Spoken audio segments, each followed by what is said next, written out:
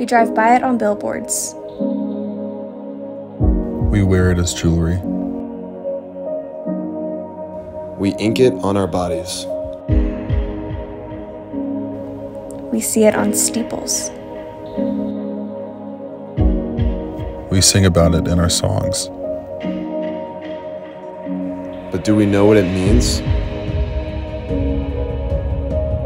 Do we know what it accomplished? Do we know why it was necessary? Do we know what it reveals about God?